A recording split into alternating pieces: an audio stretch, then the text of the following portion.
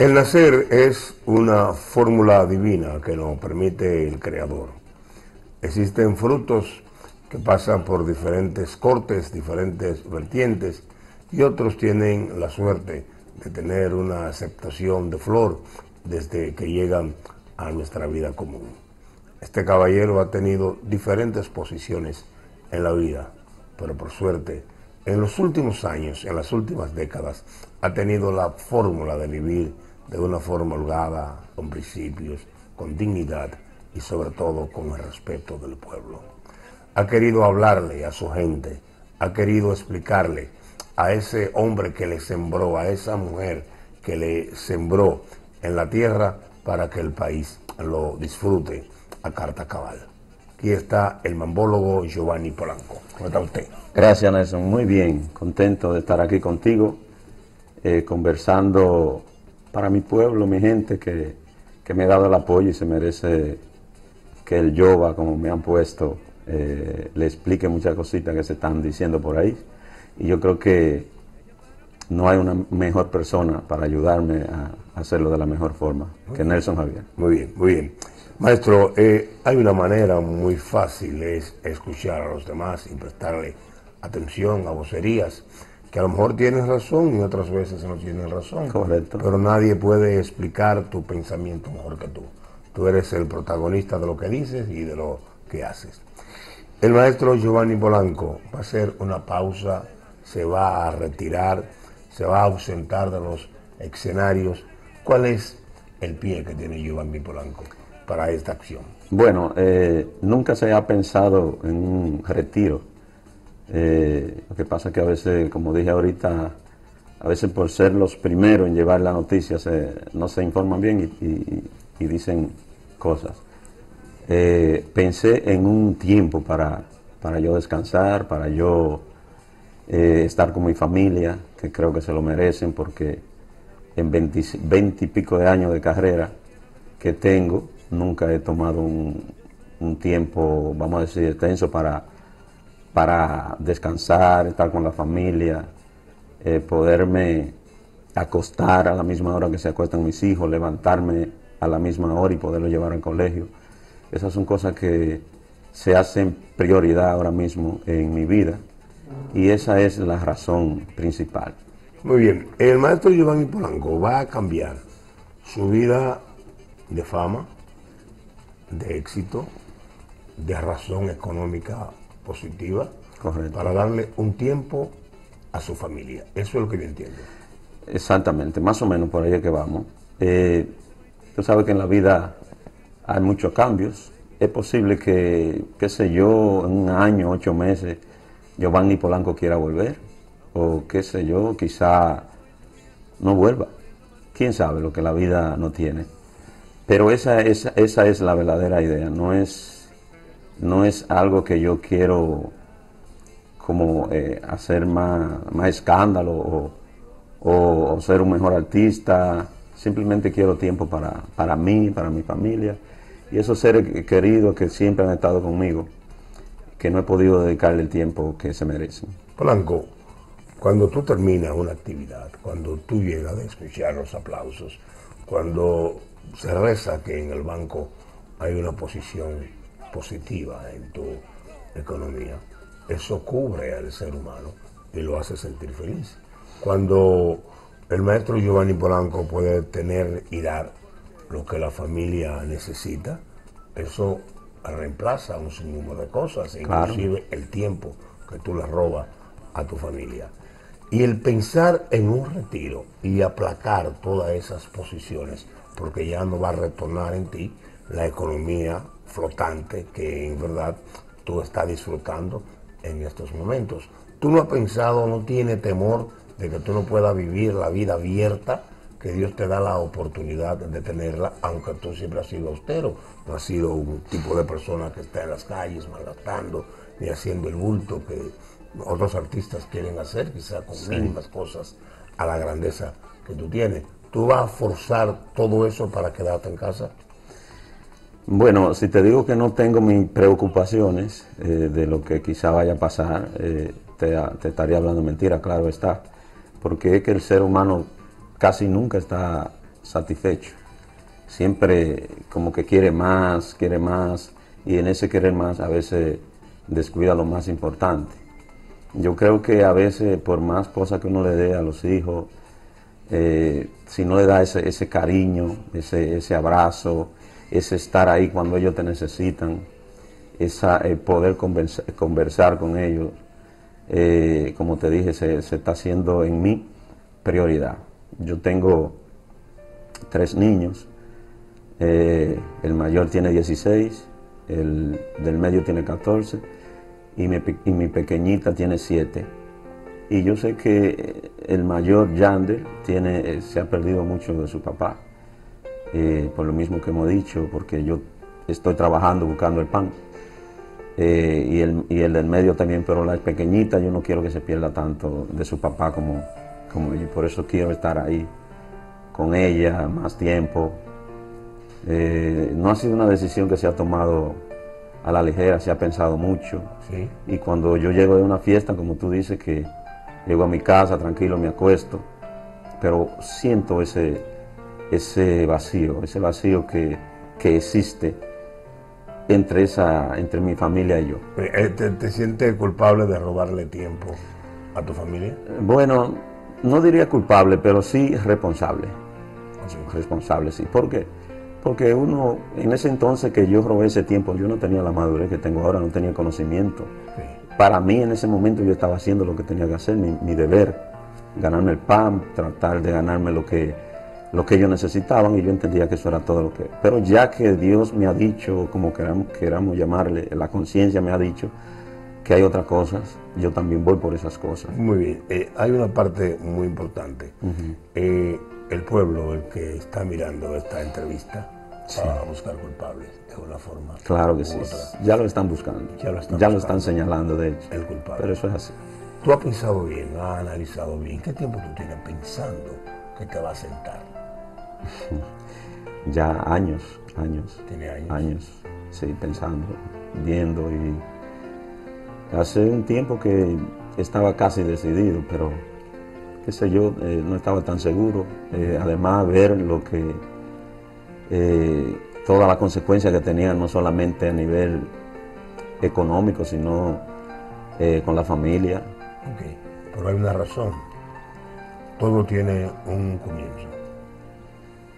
En tus inicios, para tú tomar esta decisión, que tus ojos, que tu corazonado pudo percibir que estaba algo fallando sí. en el tiempo, en la dedicación, con tu familia o contigo mismo. Claro. Y tú dijiste, no, yo voy a abandonar lo que soy en el plano profesional y voy a ser un papá excelente, un esposo excelente, un hijo de tiempo, eh, eh, un hermano para dar tiempo. Claro. Yo voy a hacer lo que es la plataforma de la familia porque ya Dios me entregó como ellos y tú pueden vivir. O sea, ¿qué te llevó a eso realmente? ¿Dónde se llenó el vaso? Claro, sí, muchas cosas.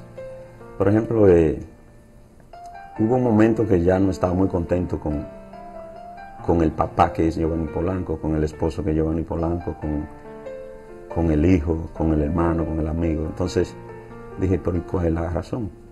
Bueno, pues eh, cuando tú ves, cuando tú sabes que tienes que hacer algo y no lo haces, comienzas a sentirte incómodo. Culpable. Incómodo. No me gusta usar esa palabra porque okay. es como que culpable que hay que castigarlo, no. Eh, es responsable, vamos a decir. Okay. Tú comienzas a ver que, eh, por ejemplo, tú haces una conversación con tu hijo, trata de, de, normalizar la cosa y tú ves que la conversación es corta, sí, no, claro, sí, ya la hice, pero no hay una extensión y tú no encuentras cómo extender esa conversación. Dices, sí. algo está pasando. Bueno, tu hijo mayor de 16 años, otro 14, ¿no? Que sí, y, 14, y, siete. y la niña 7, 7. sí. Nunca te has sentado frente a frente eh, en un mueble en tu cama a intercambiar palabras con Claro ellos. que sí, lo he hecho, pero es ahí donde uno se da cuenta. Entonces, ahí te das cuenta que es corto todo. Exacto, entonces quizá a veces uno comete el error de exigirle a ese niño o pero si tú no lo has construido, ¿cómo lo vas a exigir? Entonces, para tú poder exigir, tienes que construir. Para construir, tienes que darle tiempo a tu familia, tienes que tratar de enseñarle, relacionarte, porque es muy, bonito decir, las cosas van a ser así, tienen que ser así, lee este libro, pero ¿y tú con el ejemplo qué estás haciendo? Oye, yo he percibido que conozco el patio de tu casa y conozco la sala y conozco cómo se maneja la eficiencia en tu hogar. He percibido que en tu casa existe una formación de mucho respeto. Sí, claro que sí. Y esa formación viene desde tus padres, trasladada a tu familia, a tu casa, y he notado la grandeza de tu mujer para formar sus hijos.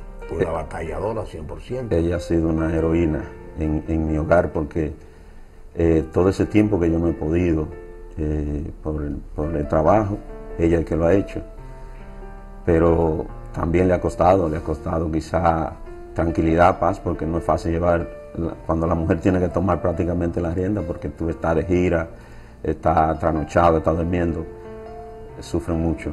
Muy bien. Y, y uno dándose cuenta. Cuando te vas de gira, te va por un mes, dos meses, Sí. ha estado fuera de la casa. Comunicación, ¿qué tipo de comunicación tú has mantenido con tu esposa y con tus hijos en esos 60, 50 días que está fuera de la casa?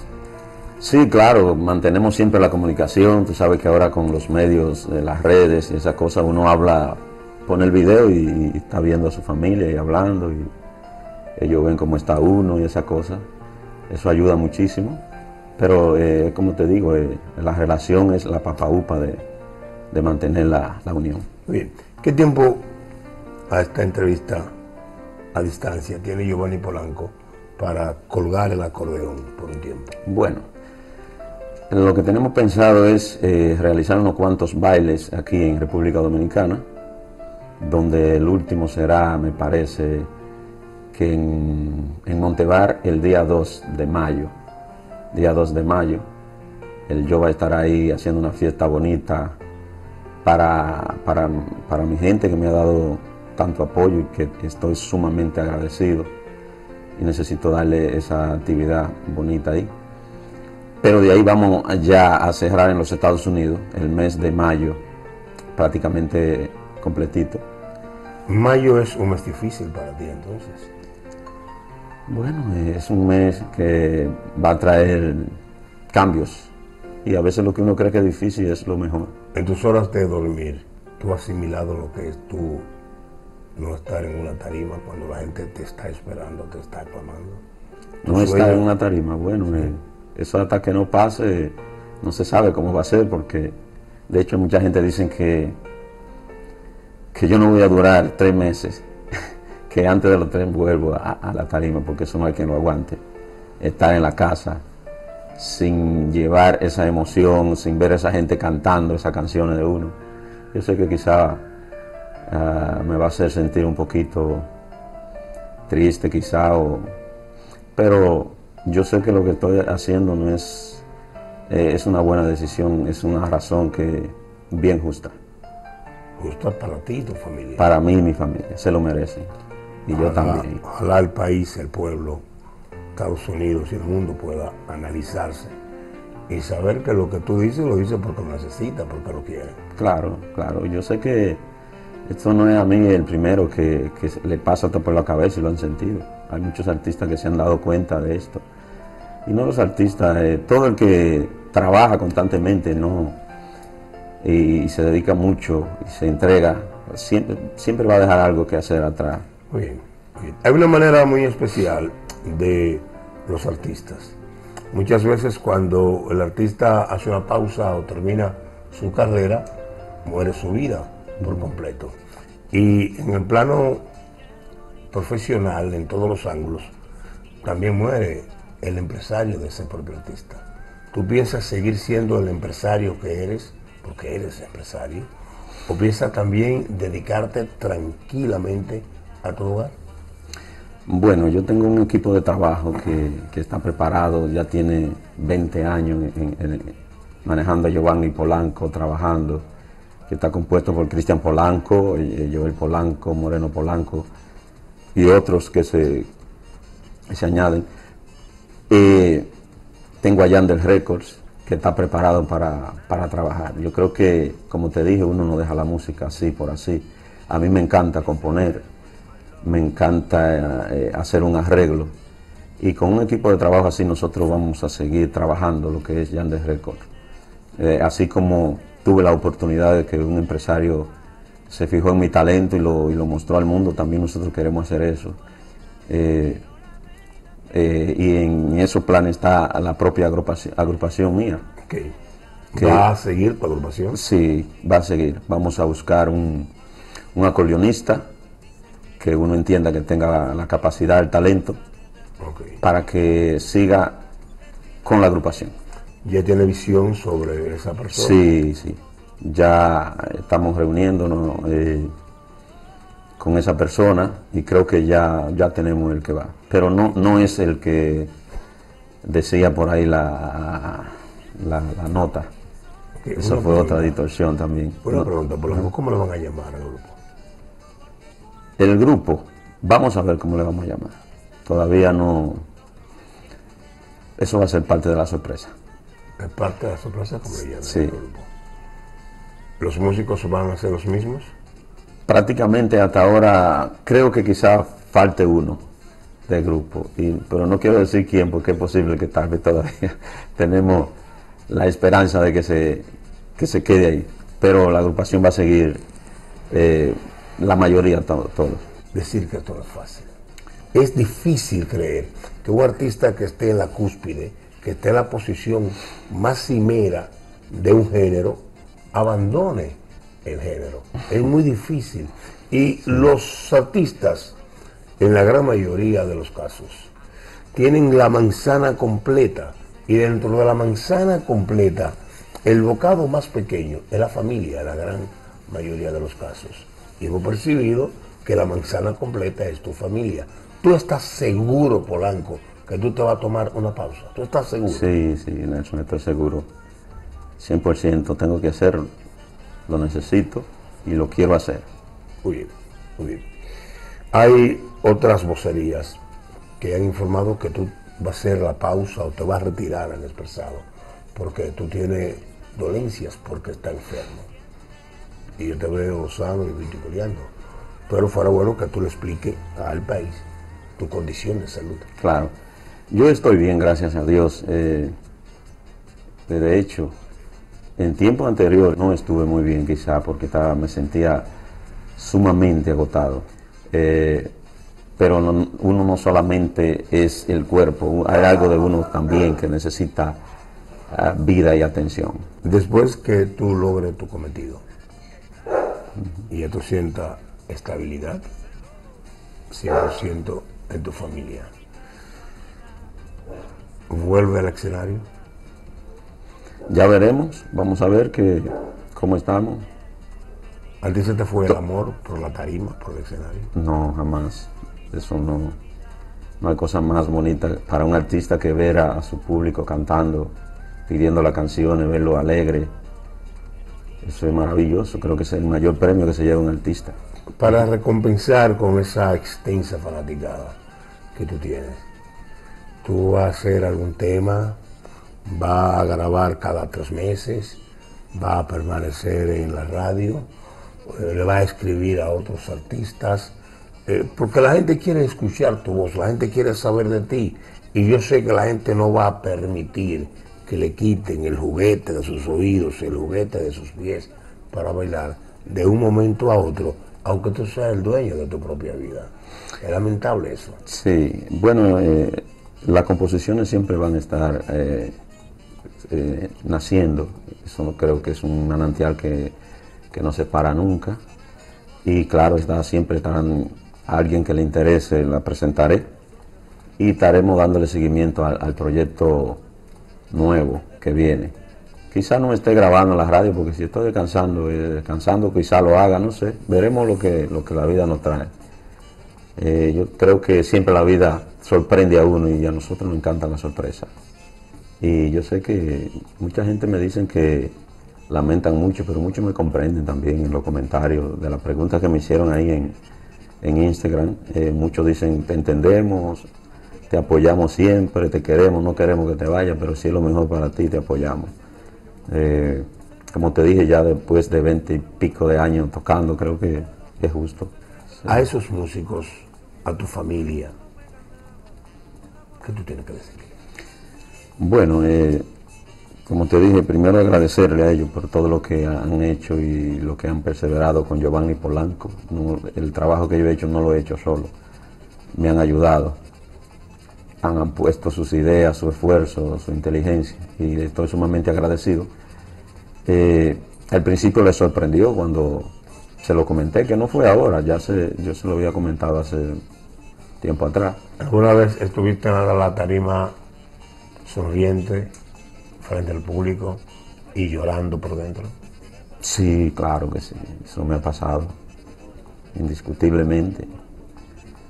Por dentro a veces uno no sabía cómo iba a terminar esa fiesta, pero había que hacerlo por el compromiso.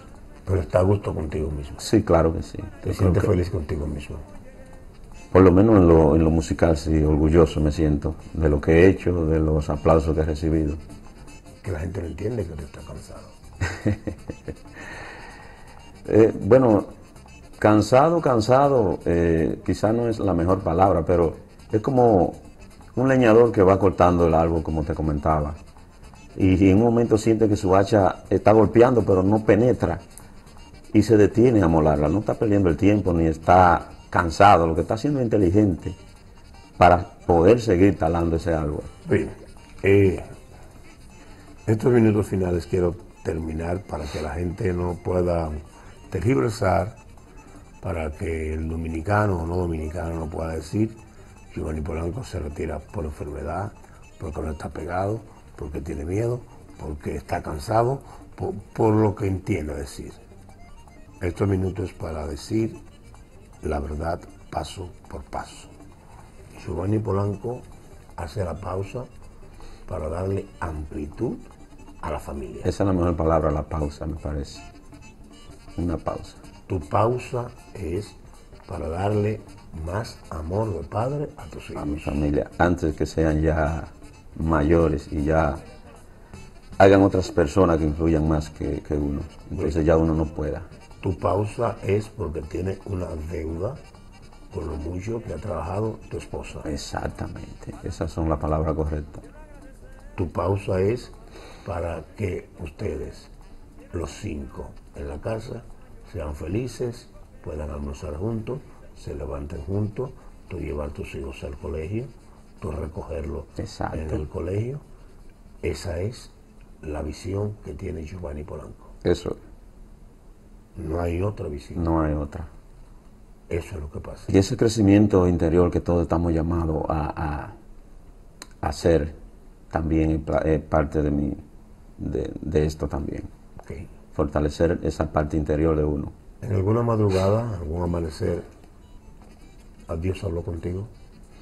Dios, bueno, eh, tú sabes que el concepto de Dios es algo muy personal y quizá tú puede comunicarte con Dios de, diferentes maneras.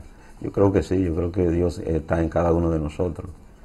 Y cuando algo te, abraza fuertemente, que tú lo ves y te decides hacerlo, sin, casi sin, sin consultarlo, sin, sin tener que esperar la respuesta de alguien, yo creo que el mismo Dios que te, te agarra por la mano y te dice esto es lo que tienes que hacer. Cuando entrabas a la casa o entra a la casa después de una actividad, 4 o 5 de la mañana, sin importar lo lejano que esté, y te dejaban tus hermanos, la seguridad, se iba el chofer, tú abrías la puerta, penetraba a la casa. ¿En algún momento te dio el deseo de abrir la puerta y ver tus hijos dormir? Lo hago casi toda la noche. Cuando llego voy a ver cómo están. Y ellos al dormir, tú puedes pensar en ti mismo que tú le estás robando su tiempo. Bueno, eh, a veces cuando lo veo dormido tranquilo así, me da un chin de nostalgia, así como que no sé por qué. ¿Y el otro día lo ve en la mañana, al mediodía o en la tarde? Eh, cuando despierto todavía no han llegado del colegio. Cuando ellos se van estoy durmiendo, cuando yo llego están durmiendo. Ese es una de, las cosas que distancia un poquito, que cuando tú entras ellos salen y en el guion está que cuando ellos lleguen, tú estás despierto, lo abrazas. Exacto. Eso es lo que tú quieres. Eso quiero. Eso tiene un precio. Tiene un precio, pero a la vez, cuando uno quiere hacerlo, no es un precio, diríamos como una satisfacción. Porque para tú poder exigir a tu hijo, tiene que darle, tiene que enseñarle. ¿Y tu esposa te ha expresado en algún momento, no me dejes sola ya, yo estoy cansada con tres niños? Sí, me lo ha dicho. Aunque cuando ve ahora la verdad de que mi decisión es en serio, se preocupa y piensa que, que sí, y me pregunta, ¿tú crees que será la mejor decisión? Me dice. ¿Se siente culpable a veces? Bueno, quizá ella siente que quizá con su, con su afán me ha influido, pero no es así. Yo lo he visto, lo he visto con mis ojos. Yo he visto lo que, lo que ellos me necesitan. Y quiero hacer saber con lo que voy a explicar, que no es que los hijos de Giovanni Polanco tienen una cuota de muchachos que son rebeldes. Lo que él está evitando es que ellos lleguen a ser rebeldes. Por la falta del cariño, del tiempo, del aprecio quizás no del cariño, porque muchas veces en poco tiempo se da mucho cariño, pero es difícil asimilarlo. Lo que tú quieres es estar bajo la responsabilidad del papá. Claro. Sí, Nelson, porque lo que pasa es que cuando uno está llega cansado de la fiesta, quizá, quizá tiene dos bailes o ha tenido una fiesta lejos, y tú llegas cansado o no pudiste dormir bien esa noche, tú estás un poquito incómodo. Entonces, las cosas te molestan más de lo que, de lo que son. Entonces tú tienes que, uno se da cuenta y dice, pero ¿por qué? Bueno, pero no es que el niño sea quizá eh, muy desaborotado, sino es que tú estás muy sensible porque no has descansado. Entonces tú tienes que tener amor y paciencia para estar con ese, con ese hijo. Y para eso necesita dormir bien, necesita tiempo. Cuando uno se acostumbra a vivir cómodo, a vivir bien, y de una manera u otra tiene que mermar tal acción. Siempre la gran mayoría de gente que tiene un plano progresivo día tras día se adapta a vivir, a vivir su rutina de vida. Tú sabes que va a tener que mermar muchas cosas. Sí, así es, así es. Pero creo que vale la pena. Yo creo que eso es bueno hasta para la, la propia familia. ¿Se acabó de comprar ropa cara? Bueno, yo creo que sí que hay que comprar menos, por lo menos menos. Si acabo de comprar el vehículo. Y es lógico porque ya, si no va a haber tanta tarima, no hay que ir, no hay que andar tanto. Se, acabó de comprar la chipeta del año. Claro. ¿No te importa eso? No, eso no me importa. bueno, vamos a ver cómo viene el nuevo proyecto. Pero lo esencial yo creo que es eh, eh, la persona. Tú sabes que esas cosas al fin y al cabo no me llena mucho. Ya yo tengo la experiencia de haber tenido un, buen vehículo y eso no me ayuda a dormir mejor, ¿no? ¿Se nos queda algo por explicarle al país? Yo creo que hemos sido específicos, no vamos a satisfacer a todo el mundo, pero ya habrá otro, queda tiempo todavía, contamos todavía con dos o tres meses más de Giovanni Polanco en el escenario y, y en las redes que están por ahí, que siempre ya las cosas llegan de una vez a, todo el mundo por las redes. Bien. Es bueno que se quede esto permanentemente en el corazón, en las redes y que la gente pueda explicarlo. Claro. Giovanni Polanco no se va de la música por enfermedad. Giovanni Polanco no se va de la música por temor a algo. Giovanni Polanco va a hacer una pausa, una pausa una pausa de los escenarios porque él entiende que la gran tarima la tiene su familia. ¿Fui claro? Voy para la tarima de mi hogar. Esa. ¿Dónde te encuentras esas palabras y tan... Lo, que pasa es que, dicen mucho con poco. esta, esta, esta entrevista yo la comencé a hacer en la madrugada de anoche, porque una persona que lo quiera tanto, respete tanto, le agradezca tanto y lo tenga como hermano, como hijo, como amigo, eh, hay que saber cómo entrevistarlo. Muchas gracias. Y no se me hace fácil entrevistar a un sinnúmero de artistas y políticos, pero entrevistar a una gente que uno quiera, no se cuentan con esas manos. Y me alegra que el pueblo, que todo aquel que conoce de Giovanni Polanco tenga el conocimiento perfecto de lo que él ha expresado, para que después no se busquen conjeturas, añadiduras, filosofías baratas, sino acciones que tengan que ver con la verdad. Y esta es la verdad del mambólogo Giovanni Polanco. Gracias Nelson, ha sido un placer y me siento satisfecho y contento y creo que hemos, hemos dado la información correcta. Muy bien. Todo el ruido que se escuche porque hasta los perros sufren cuando se va el mambólogo.